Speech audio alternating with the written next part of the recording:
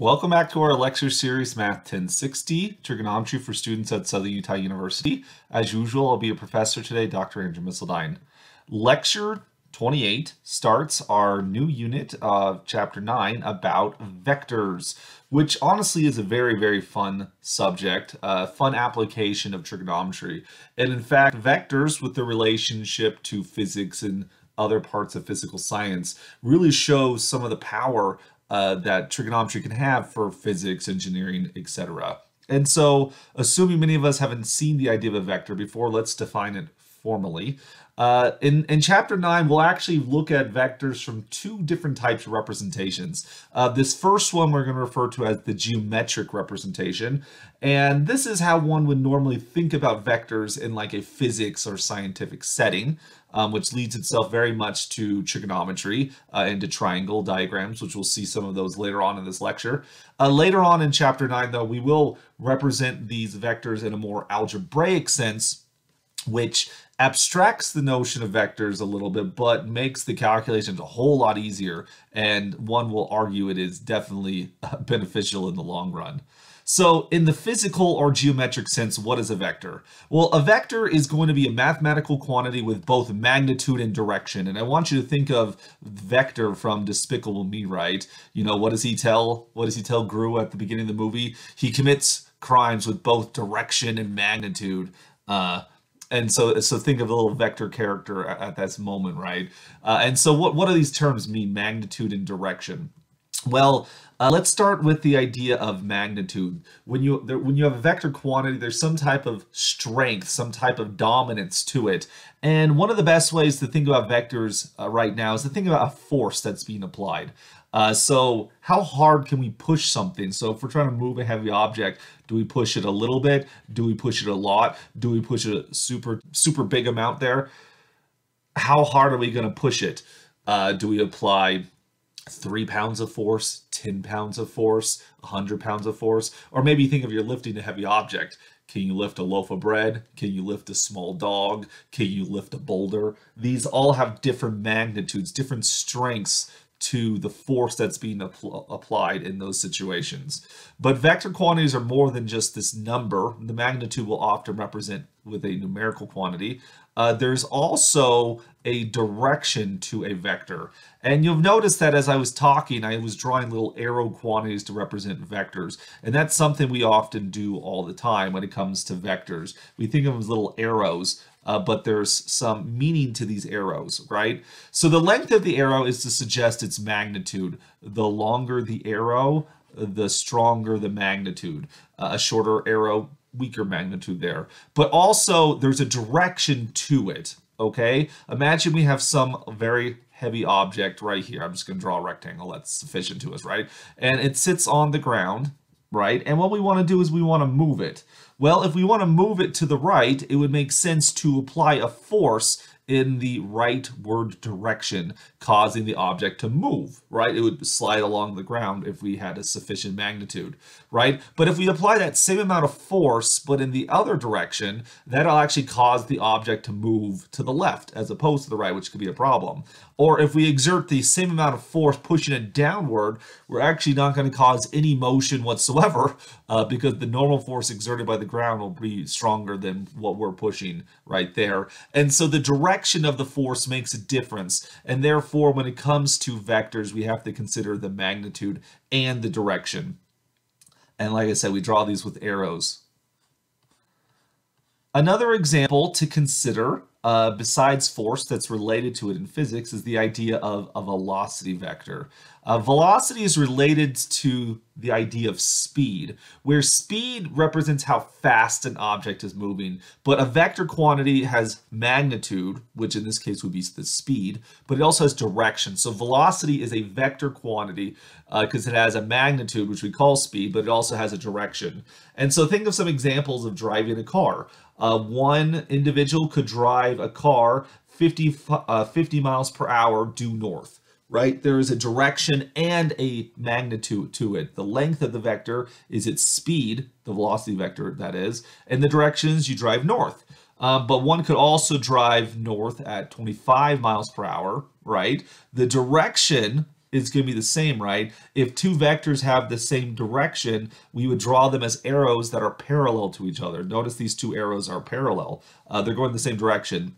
But this vector right here is actually half of the length of the first one because uh, the first one's 50 miles per hour, the second one's 25 miles per hour. And so we would draw it half the length there to represent the change of magnitude. For the velocity vector, a change of magnitude represents uh, the speed of the of the vector there.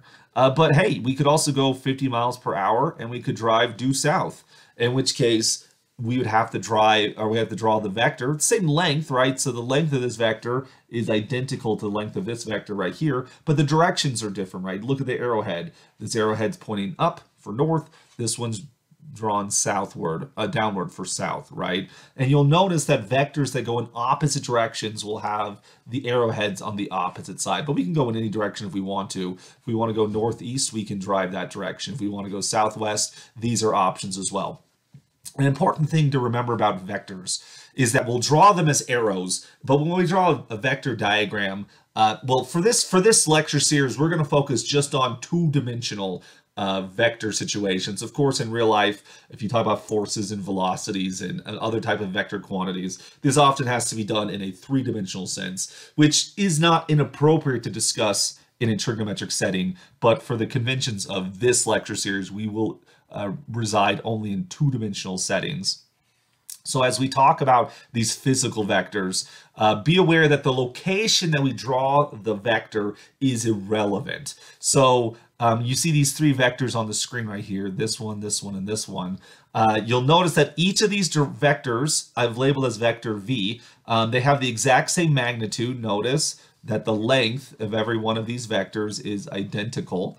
Uh, their magnitudes are the same. Also, their directions are the same. To see that, maybe I'll think of their direction in reference to the horizontal, right? If you think of some type of angle theta right here, again, what's the direction with reference to the horizontal? You get the exact same angle theta right there. And this is why trigonometry is going to be very important in the study of vectors because the direction really is a, a, a trigonometric idea. It has to do with angles, which is what we study in trigonometry.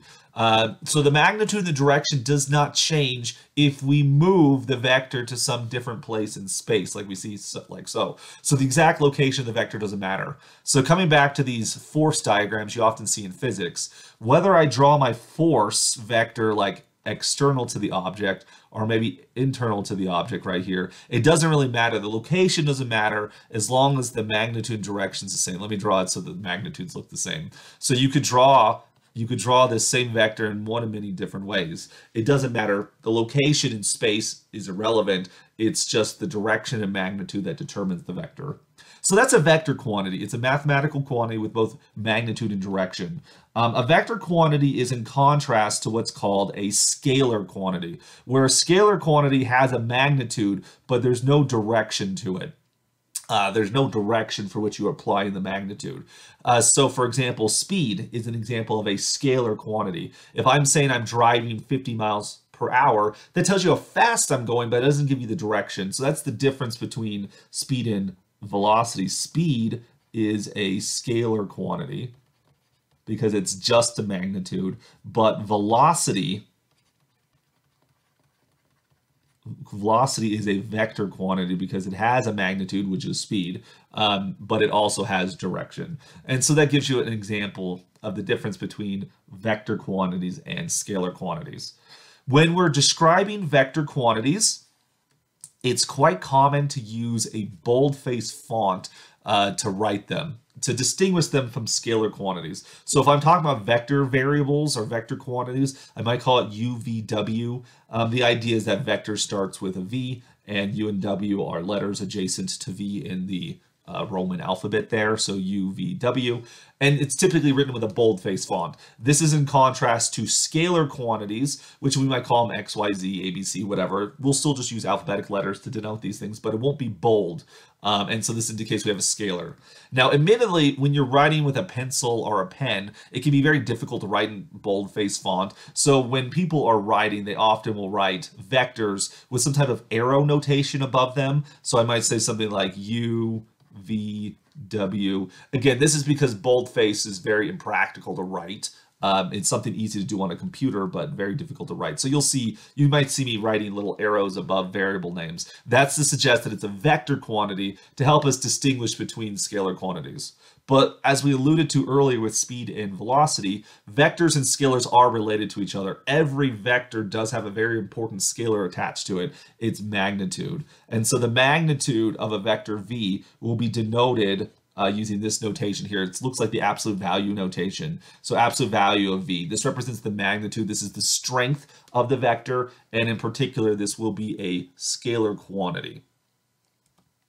Now, vectors are not just these arrows that live in space. The, the importance of vectors is that we can add them together. And I want you to think about that for a second. We can add together arrows. What? I mean, that'd be like saying, what's Pikachu plus Volkswagen, right? Uh, clearly, clearly the, the ideas of addition combining things together there should be some meaning to it not just some arbitrary uh, some arbitrary terms in there.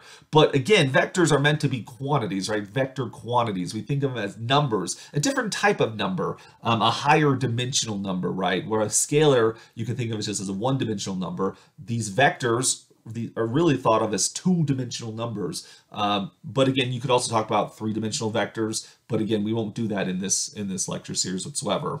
And so because vectors are quantity, it makes sense that one could ask about vector addition. But as a vector is not just a number, we can't just add numbers together, so to speak. How do you add together arrows? And so the rule for adding together vectors follows what we call the parallelogram rule. And it gets its name because of the following diagram you see right here. So to add two vectors together, let's say we're going to add the vectors u and v together, you orient the vectors so that the tails of the arrows are touching each other. So u and v emanate from the exact same vertex. Okay? And so then taking a copy of v, you're going to add a copy of v to u right there. So you're going to add a line that goes in the same direction, the same length as v. We're going to do the same thing for u as well. Copy u and draw it over here like so. And so when you do all four of these things, you get a u, you get a v, you get a v, you get a u. Uh, when you put all of these together, you form a parallelogram. That parallelogram has a diagonal. And so you draw the diagonal to form the sum of the two vectors right here. So let me draw this from scratch here. Let's say we have some vector u and we have some other vector, say v like this, like so. You're going to copy your vector, something like this. You'd copy the vectors, make your parallelogram, connect the diagonals, connect the dots on the diagonals. Connecting the dots is college mathematics, mind you, in which case you're going to get u plus v, which would then be the sum of the vectors. It's the diagonal of this parallelogram. All right. Now, personally, when it comes to addition of vectors, I like to I mean, you can do this parallelogram rule, you form the parallelogram, but I think in practice it's a little bit easier to think of it as the following, where you're just going to concatenate the two vectors. You start off with any of the vectors, u or v, doesn't matter. Take v, take u, like so. And so what you're going to do is you're going to put the start of the second vector at the end of the first vector, like so. So you add this vector, you add this vector, and then this would give you half of the parallelogram. Half of a parallelogram is a triangle, or you could think of a parallelogram as just a double triangle if you copy that triangle here. And the diagonal of the parallelogram would then be the third side of this triangle, like so. And this perspective is going to be very useful for us because, again, this is going to connect the trigonometry to the types of thing we want to study uh, with this vector algebra here. So to, to add to, together two vectors, you're going to take the one vector, concatenate it with the second vector, and then connect the start of the first with the end of the second. That vector would then be the sum of the two vectors. And this is and the reason we adapt this rule is because this is how it works in physics. If we have two forces acting on a object simultaneously, two, two force vectors, then the net force would be the sum of those two vectors working together, just like we have with the parallelogram rule right here. It's also important to represent uh, the negative of a vector. So given a vector, we define negative v to be the vector with the same length, same magnitude, but it's pointing in the opposite direction. Uh, so you can see that right here. So we have vector v its additive inverse would then be called negative v. The vectors have the exact same length, but they're pointing in opposite directions. And they have the consequence that if you take a vector plus its inverse, that'll give you the so-called zero vector. The zero vector is the vector with no magnitude nor direction. That is to say, it's the vector which has no length whatsoever. Like if you apply no force to an object, then it doesn't move. It, there's no arrow there. You just represent the zero vector as a point. So let me show you an example of this vector addition in practice here. Very simple example. Imagine a boat is trying to cross a river and it's trying to go, uh, a, a boat's crossing a river that runs due north, okay? The boat is pointed due east and is moving through the water at 12 miles per hour. If the current of the river is a constant 5.1 miles per hour, let's find the actual course of the boat through the water. So you see what's going on right here. Our boat is traveling due east at 12 miles per hour, but it's a river, it's flowing. Uh, there's a flow from the current of the river, which it's flowing northward right? So as the boat is as the boat is going to the right the river is pushing it upward. And so the actual course of the boat would then be the sum of these two vectors right? These two velocity vectors. And so the actual boat would go in this diagonal course through the river like so and so can we find this, can we find this vector here that represents the actual course? Now you'll notice that because we're going due east in the boat, but the river is going due north, then these vectors are going to be perpendicular to each other. It forms a right triangle right here. And so we could actually figure out this actual course here. Uh, the actual course we can describe as a vector. Let's call it V right? It's a vector, it has a magnitude and it has a direction. The magnitude we get from the we get from the Pythagorean relationship. Notice that this side squared plus this side squared equals this side squared. And so we see that the magnitude of v is going to equal the square root of 12 squared plus 5.1 squared. Like so. 12 squared is 144. 5.1 squared is going to give us 26.01. This still lives inside of the square root. We add those values together. We get the square root of 170.01, and that gives us approximately 13 miles per hour. Like so. So because of the current of the river, the boat actually is going faster than its engine or rowing, or I don't know how it's going, maybe it's a sail. Uh, it's going actually 13 miles per hour. But in what direction? Well, the direction, well, again, the boat's going east, the river's going north, and so maybe we measure the angle here uh, what's the angle above the eastward direction and the northern direction? We ask about that. But this, again, this is a triangle. Um, we can use some basic trigonometry to solve the missing piece right here. Uh, so what we're going to do is we know the this direction, that would be the adjacent one. We know this side, that would be the opposite side. So tangent seems appropriate here. Notice that tangent of theta is going to equal 5.1 over 12. Therefore, theta is going to equal arctangent of 5.1 over 12, for which we consult our calculator here, and we're going to end up with notice, of course, that uh, if you wanted to play around with this fraction, you could. Um, 5, 5.1 1 over 12. It's the same thing as 51 over 120, which is the same thing as 1740, which is all over 40, which is the same thing as 0.425. Again, we don't have to get into all of that. We're just going to put this in our calculator here, and we get approximately 23 degrees. Uh, 23 degrees as the direction there. So our boat is going to be traveling 13 miles per hour and it'll be 23 degrees north of the eastward eastward direction. So adding together the vectors has a very natural consequence when we study velocity, when we study forces, when we study other types of directional quantities in physics and other scientific settings.